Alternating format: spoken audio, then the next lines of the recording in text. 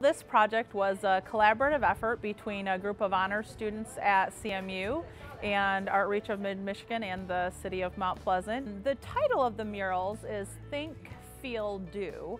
And the students in the class, knowing that it was going to be a public installation, really wanted the uh, murals to feel that anyone from the community or from outside of the community would be able to see themselves in the mural. Most of the work was by honor students and they had all these great ideas and it was just more of finding uh, one idea that they could bring everything together. So Emily and I came in and we kind of put that into visual aspect and we drew all these kinds of things and put it into pictures. It's awesome to see them up because one of the huge things that Ren Hollander has taught us and like we've talked about a lot in the art education program is community-based art.